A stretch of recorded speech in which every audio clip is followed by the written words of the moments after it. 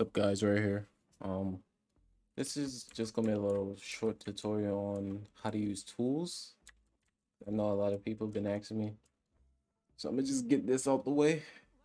So to, to start, just make a tool in starter pack.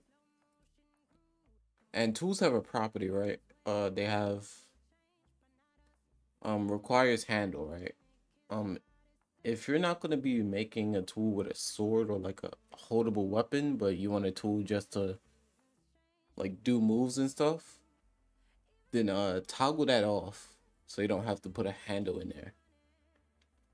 And that should work by itself, right? Now make a local script inside of the tool. You're going to reference the tool by doing script.parent. Now it has a few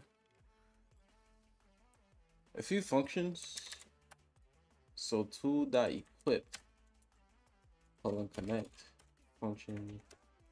This is when you pull out the sword or like hover over the sword, right?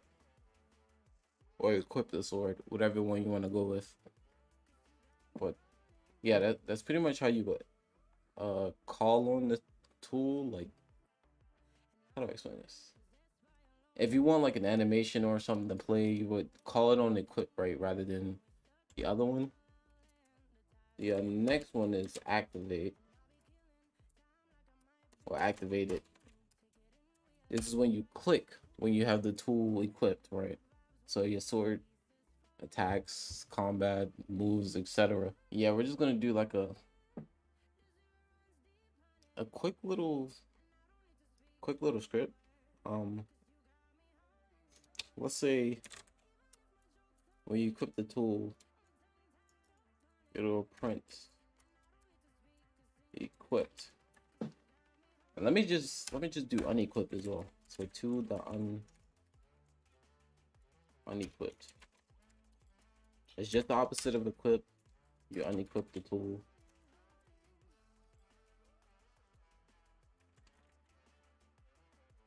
We just have it print. And then the activate function, I'm just gonna do use tool. So now we can just test that because that's how simple it is. You equip the tool, it says equip. When you unequip it, it unequips. When you equip it, you click left click to use the tool. Then it's gonna print use tool. So yeah, this is just a a quick little tutorial on how to use tools. Um, yeah and if you like this video like sub share. Uh let me know what you want to see like basic tutorial wise. I'm working on a series but yeah let's try to do some basic ones as well if that makes sense.